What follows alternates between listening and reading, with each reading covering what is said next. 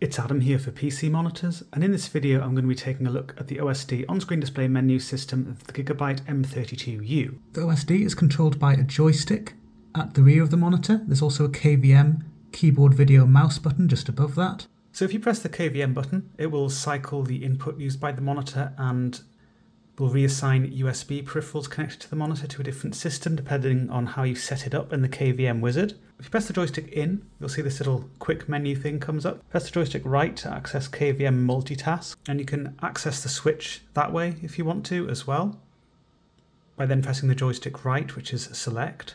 And you can set it up with the KVM wizard. And again, I press the joystick right to get further into the menu or enter. So here you're saying what display signal are you using for the system that's also connected with USB-B? That's the main USB upstream port of the monitor, which is labeled SS, super speed at the back. And then for your Type-C display, so which display signal are you using for the system connected to the USB Type-C port, which also supports upstream data? So you can use Type-C for everything, the display signal and the upstream data, and also gives you a little bit of power delivery, just 18 watts on this model. Or you can have that with HDMI 1, HDMI 2, or DisplayPort. DisplayPort's just grayed out because I've assigned that to USB-B. So you see there on the wizard, it just gives you a little quick thing to say USB-B is assigned to DisplayPort, Type-C is assigned to Type-C. You can also disable the KVM switch if you don't want to press the button, you don't ever use this functionality by just selecting off there. You can't assign it to another function though, it just disables the button. It'd be nice if you could change it to something else that you do use. And KVM reset, which will just reset all of this to the factory defaults. If you twiddle the joystick up, down, left or right before you've actually entered the main menu system, or before you've pressed it in, you can access these little quick settings which you can customize in the OSD. So I'm just going to show you how you customize them. It's called Quick Switch here in the System section of the OSD. You can say what it's going to do when you twiddle the joystick up, down, left or right. So I've just got it set to brightness for up and down because I adjust that quite a lot when I'm reviewing the monitor. Right and left, that's picture mode, because that's another thing I tend to adjust when I'm reviewing the monitor. I also switch between the custom presets for various different reasons, and I'll come on to that shortly. But you can see there are various options you can set these to. So there's brightness, contrast, input, volume, black equalizer, aim stabilizer, sync, picture mode, and KVM switch. If you press the joystick in, you'll see again there's KVM multitask, which I went through just before. If you then press the joystick up, you would select setting, which is the main menu system. To the right is game assist, and down is power off. You can also power the monitor off by holding the joystick in for a couple of seconds. And if the monitor goes into standby and you can't access that little quick menu and you want to power the monitor off, you would just hold it in again for a few seconds. So I'm going to go through Game Assist quickly. So this has game info, which at the moment is off the screen. So you can change the info location, the left side of the screen or the right side of the screen, the top, center or the bottom. So at least if it's here, you can see it on the video. That is helpful. So I'll just leave it there. So there's a timer, which is the top bit there, and that will count up or down depending on what you select. There's gaming counter, which will count up when certain key presses are made, and you configure that with OSD Sidekick, which I'll show you very shortly, the software which is used to control this kind of thing and you can also use it for various other things. I will come on to that shortly. Refresh rate, I'll just show you this on its own actually, it's quite useful.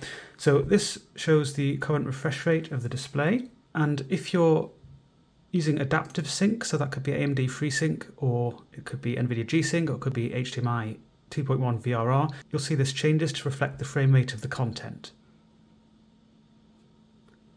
If you don't have VRR active, it's just going to display the static refresh rate that you've selected. There's an on-screen crosshair function. There's style 1, custom 1, custom 2 and custom 3. Customize these with OSD Sidekick as you might have guessed.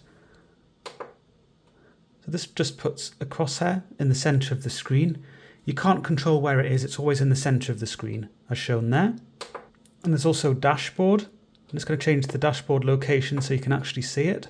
This populates if you're using OSD Sidekick, otherwise it won't. So I'm just going to open up OSD Sidekick and there's a link to download OSD Sidekick in the description of the video. You need the USB upstream cable connected to the system when you're using OSD Sidekick. So that's the one labeled SS, the USB B port of the monitor. You have to connect that to your system. That would be a Windows PC you have to connect it to. So I'll run through this properly in a little bit, but I just wanted to show you the dashboard. You can see it only has location up and down there. You can't have it over at the right side of the screen as you can adjust with the OSD, which is a little bit annoying. So some of the features in the OSD Sidekick aren't quite the same as you can get in the main OSD. So there we are, I've got it where I wanted it, and it should shortly populate yeah, with different things. This isn't always going to show, it depends on your system, it depends on your peripherals and what they support, which readings they'll give you, but you see there are various different things there. And finally here there is display alignment. That just gives you some little markers around the image to help you align multiple displays. So onto the main menu now, that's setting. First section, gaming, aim stabilizer sync. This is a strobe backlight mode. And if I activate this, you'll just see the screen flicker, so I'm not going to bother doing that. But this is all explored in the written review. There's black equalizer. You can change that between 0 and 20 and 10 is the default setting. I've got lagom.nl, the website open, the black levels test. This won't appear as it does to the eye, but it will allow me to show you what the setting does. So 10 is the default. If you raise this, it will increase your black depth and also the depth of darker shades. So you do lose contrast if you increase this because pure black gets lighter. Ideally that wouldn't happen. So this isn't very selective. And if you decrease this below 10, it doesn't improve your black depth at all, it doesn't improve your contrast, it just crushes things together. Depending on preferences, you may like to adjust this, and if you increase it, it's designed to give you an edge in competitive gaming, that kind of thing, make enemies easier to spot against the background, that kind of thing. Next up, there is Super Resolution, and this is set to zero by default. This is a sharpness enhancement filter or sharpness filter. It basically over sharpens the image. This can be useful if you're running a non-native resolution perhaps, or just according to your own preferences, but I prefer to leave this on zero. Nice neutral setting there. Next you've got display mode, and this is grayed out if you've got AMD FreeSync Premium Pro enabled. This enables adaptive sync, so it would also enable NVIDIA's G-Sync compatible mode, so you will have display mode grayed out if you're using adaptive sync. And also if you're using HDMI 2.1 VRR, you don't specifically have to select AMD, it's a bit confusing, you don't have to specifically select AMD FreeSync Premium Pro in the OSD because you don't need to use adaptive sync for that. It'll basically act as if that's enabled in the OSD and it will also grey out display scaling setting. So your, your display mode setting, sorry. So you can see full. That will use all pixels of the screen regardless of the source resolution selected. Next is aspect and that will use as many pixels as it can whilst maintaining the correct aspect ratio. Because I'm running at the full native resolution of the screen at the moment, these settings aren't going to be all that interesting. The first three are going to be exactly the same. But if I switch over to the WQHD resolution, you should be able to see what this does. So again, aspect, 16 by 9 resolution, so it maintains the correct aspect ratio, but it's using interpolation, and that's explored in the written review. Next there's one-to-one, -one, and this will look different. That only uses the pixels called for in the source resolution and presents a black border for the rest of the pixels. And there are then various different settings which simulate different screen sizes and aspect ratios. You can use these with the native resolution as well if you want. You don't have to be using a non-native resolution, but I'm just going to show you these very quickly. So that was 22 inch 16 by 10. There's 23 inch 16 by 9. 23.6 inch 16 by 9. 24 inch 16 by 9. And 27 inch 16 by 9. If you're using VRR, then it just uses the default full setting and you can't access display mode as I mentioned before. So the only thing I haven't gone through here is overdrive and that is explored. I'm sure you knew I was going to say this if you've seen my videos before. That is explored in the written review. Also a little bit in the video review for that matter. Next you've got picture, so that allows you to adjust the presets of the monitor.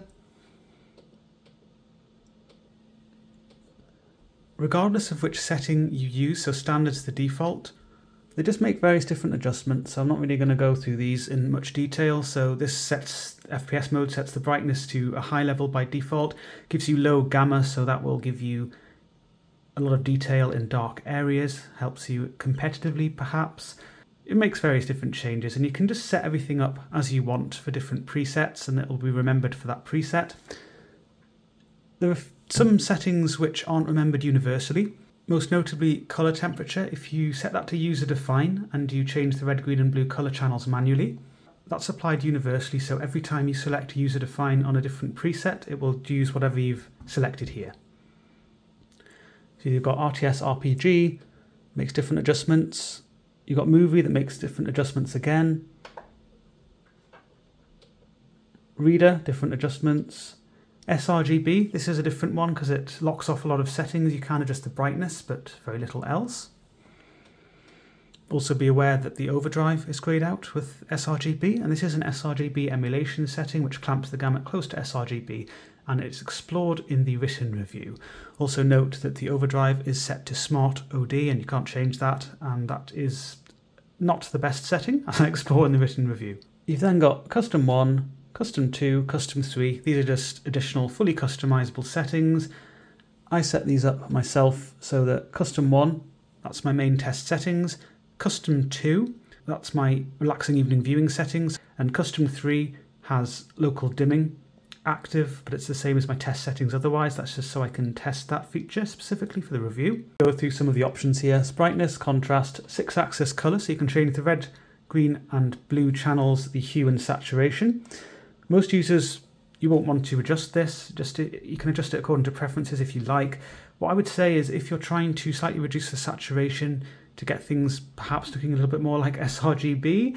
It's quite difficult to achieve that, even with red, green, blue, and sorry, I should have scrolled down because there's also cyan, magenta, and yellow. Even with this level of control, it is difficult to get the balance right. You'll find that some shades appear still quite saturated and others start appearing really quite obviously undersaturated.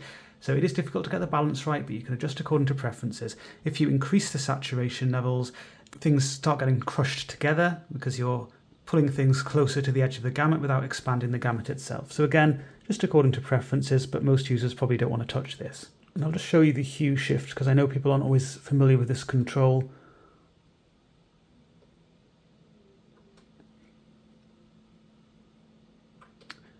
So that's the red hue being increased and now decreased. So it really just can make the image look very funky. I know some people, perhaps for their work, might like to make some slight adjustments here, or just according to their own preferences, but generally speaking, no need to adjust this. There's then colour vibrance, that's set to 10 by default. If you increase this, it's very much like you're just increasing all of the channels for saturation with six axis colour. And again, it crushes things together. You start losing shade variety. You can adjust that according to your own preferences though, or you can decrease it a little bit if you want lower saturation. There's then sharpness control. Set this between 0 and 10. 5 is the default, good neutral level. You might like to increase it a little bit, perhaps for non-native resolutions, or just according to your own preferences. You might want to adjust this a little bit. Everyone has their own preferences with sharpness, I do appreciate that. And you can adjust it here. Gamma, various different settings, off 1.8, 2.0, 2.2, 2.4 and 2.6, all explored in the review. And on my unit they did actually correspond to what it says there. Off is quite similar, or was on my unit, to, I believe it was 2.0. I might be a bit wrong there, but you can see in the calibration section of the written review. Colour temperature, so you've got user define, which I went through just before. You can set the red, green and blue colour channels manually. And there's warm, which gives a warm tint to things. And that actually acts as a quite effective low blue light setting. Again, I explore this in the written review. There's normal, which is just the factory default, and it's the same as having user defined set to 100 for everything, or it was on my unit. And there's cool, which gives a cool tint, a high white point. There's DCR, dynamic contrast ratio, also explored in the written review in the contrast section, just below the contrast table. This is a dynamic contrast mode. There's local dimming, which you can activate under SDR or HDR, and you guessed it, I explore that quite a lot in the review, so I'm not going to go through that here and this reset picture which will reset the picture settings to the factory defaults. Just before moving on, I'm going to quickly go through the settings available to you in HDR. So if you've got HDR enabled, things do change. I'm just going to show you a section from the video review which covers this. So under HDR, you'll see picture mode now just says HDR. Or you might not be able to see that, depends on the camera, it can flood this out, but it says HDR there. You can adjust overdrive, you can use AMD FreeSync Premium Pro, this means you can use adaptive sync, so you can use NVIDIA's G-Sync compatible mode, which is what I'm using at the moment, at the same time as HDR, or you can use AMD FreeSync if you've got compatible AMD GPU or system at the same time as HDR.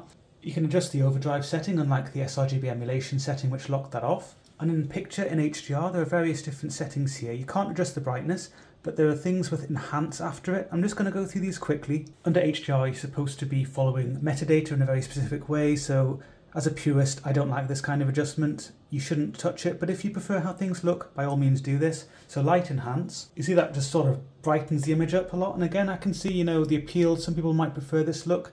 And also be aware that what you see on the camera, it doesn't look as it would to the eye. So actually, it looks a lot more natural with that set to zero.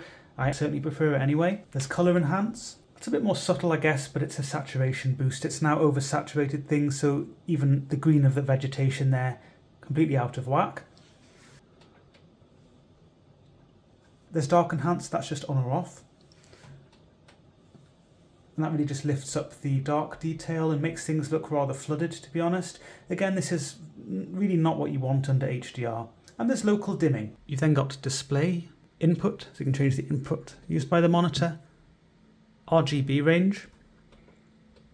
You can set that to auto detect, which I'd recommend most people use, but if you want to enforce a limited range signal, that's RGB 16 to 235. If you want to enforce and make sure a standard range signal is being used on the monitor, RGB 0 to 255, but you still have to set it up appropriately on your system. This doesn't change what the system is outputting, it's just what the monitor is going to be using. There's overscan. It basically makes the image flow off the screen. It's not something that most people are going to want to use, but I know for certain games it could give a competitive edge perhaps because it uh, sort of enlarges things a little bit. And for older systems, you might want to use that. I have a strange feeling it might be grayed out if you're using VRR. I'm just going to check that because I haven't checked this yet. So I've just enabled VRR and it is indeed grayed out. So it might be a bit difficult to see on the video, but it's just grayed out, overscan below RGB range and I can't select it anymore. Next up, you've got PIP, P by P, picture in picture, picture by picture. So for picture in picture, you can see that part of the screen is showing a secondary source, the rest is showing my primary source. I don't have another thing connected, which is why that's just a nice black box, a little bit boring for you there. But you can select the source which is used for that little box. You can change the size of that little box so it's even more little or even littler, so small, medium or large. You can change the location different corners of the screen there. You can switch it over so the primary and secondary sources are swapped. And there's audio switch, which allows you to select where the audio is going to be coming from, your main or your sub source. And for PBP, picture by picture, largely the same, except that it's a side-by-side -side representation. You can change the mode so it maintains the aspect ratio, or you can have it so it fills up as much of the screen as possible and ignores the aspect ratio, but it's only ever going to fill up half of the screen. Because I'm using a 16 by 9 resolution, it's uh, actually it's just squashed things so it's using half of the screen, but it's managed to not distort it too much. Sometimes on monitors it looks a little bit more weird than this. It's actually done fairly well there. As you can tell, this isn't something I really use myself or have a massive amount of experience with, but I've definitely seen this looking rather weird compared to how it does here on some monitors. And again, there's display switch and audio switch, just like there was with PIP. Next, you've got system. There's audio, which allows you to change the volume, or you can mute the integrated speakers or anything connected to the 3.5mm jack if you're using that. OSD settings, display time, so that's how long after the last button press before the OSD will automatically disappear. You can change the transparency level of the OSD. OSD lock. So if you enable this, you try and use the joystick, it now just says the button is locked, confirm to unlock OSD. So it's a pretty straightforward unlock on that one. There's also OSD size, so that's actually set to X2. I didn't even look at this before, I didn't even realize you could do this because I should have mentioned really everything looks quite enlarged. So this has a very tight pixel density, this monitor.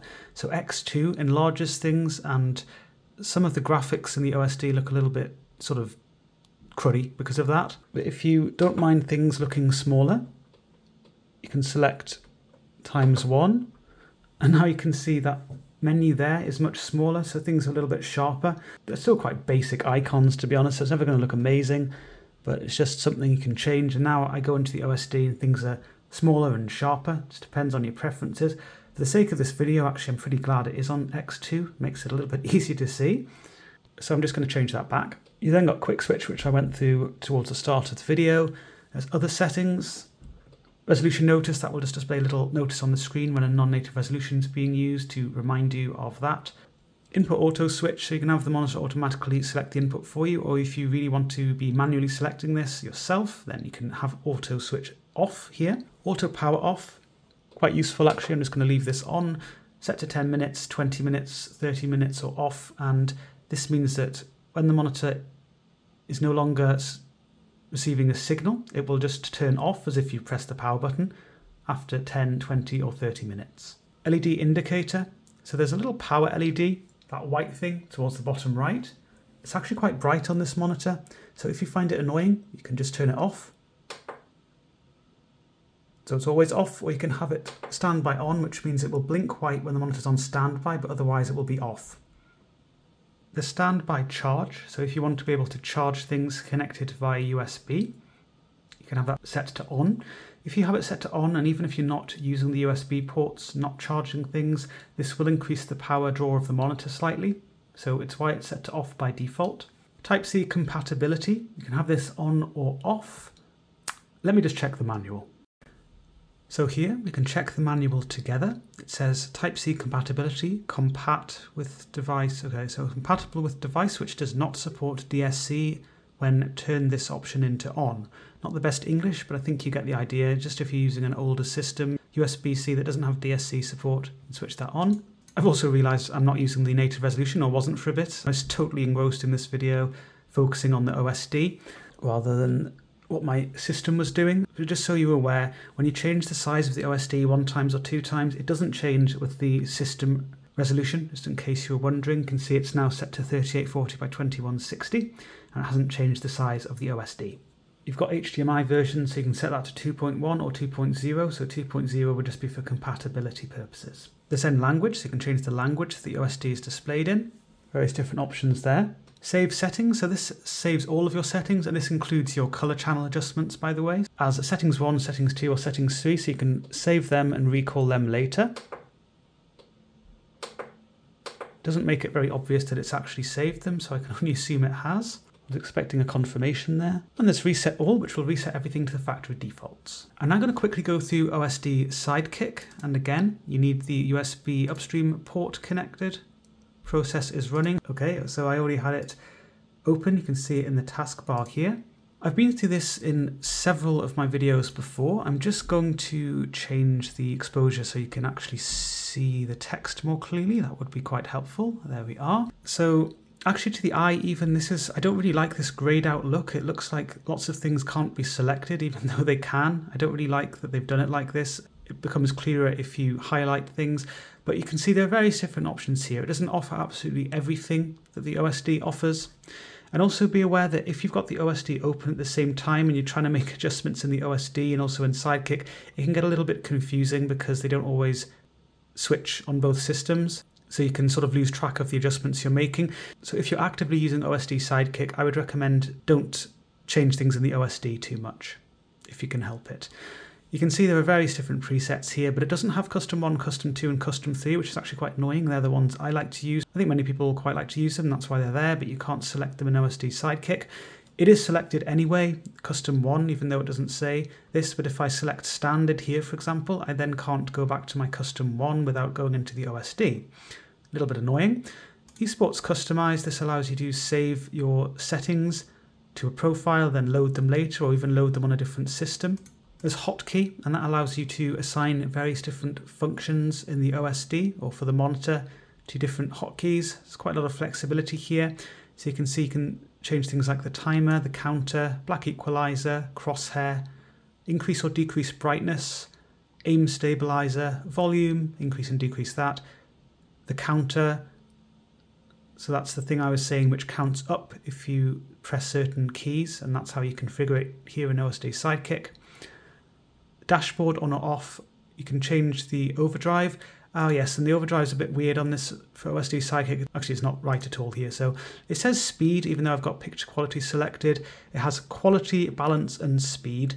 But if we look at the options in the OSD, and I know I said to try not to do this, but it doesn't matter if I'm not actually, if I'm just showing you things and not trying to select something else. But Picture quality is what it's calling speed. That's because it's the third option in the OSD. It's also the third option in this little list. Balance would be if you have Smart OD selected, and quality would be if you had overdrive set to off. Various other options as well. You've got timer, refresh rate, you can have the refresh rate display, which will correspond to the frame rate if you've got VRR in use, super resolution, plus and minus. You can change the picture modes, contrast, sharpness, or low blue light. Now, you might have noticed there wasn't a low blue light setting on this monitor, in fact, so I'm not sure why it lists this.